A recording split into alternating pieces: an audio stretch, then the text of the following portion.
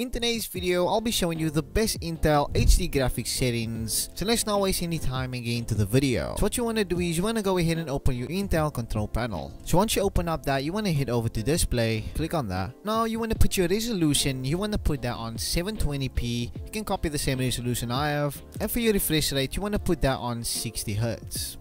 So click on 6 Hz. And for your rotation, you want to put that on 0. Your scaling, you want to put that on maintain display scaling. Once you're done with that, you want to head down and click apply. And you just want to click on yes. Then you want to head back and you want to click on 3D. Your application optimal mode, you want to enable that. Your general settings, you want to put that on performance. Then you want to click on apply and just click on OK.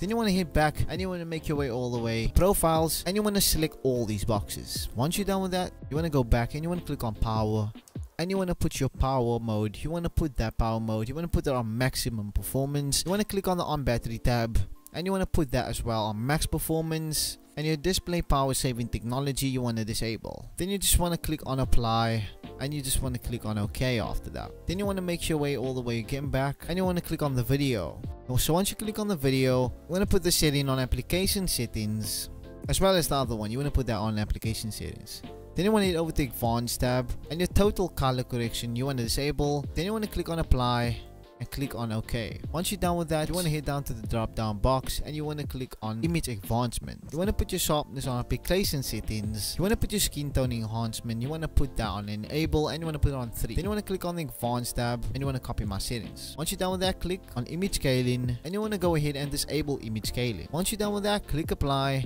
and you just want to click on OK. But anyway, those were the best Intel settings. So if you found this video helpful, please give it a like and also subscribe to this channel for more tips and tricks just like this. Anyway, enjoy.